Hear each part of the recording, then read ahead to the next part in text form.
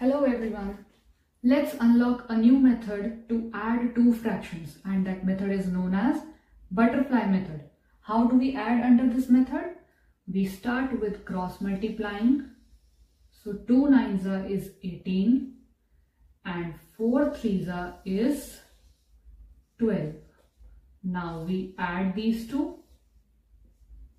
So it becomes 18 plus 12 and for the denominators 3 and 9 we simply multiply these two. So 3 nines are is 27.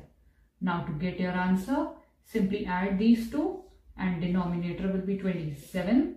8 plus 2 10 1 carry 1 plus 1 2 plus 1 carry 30 upon 27.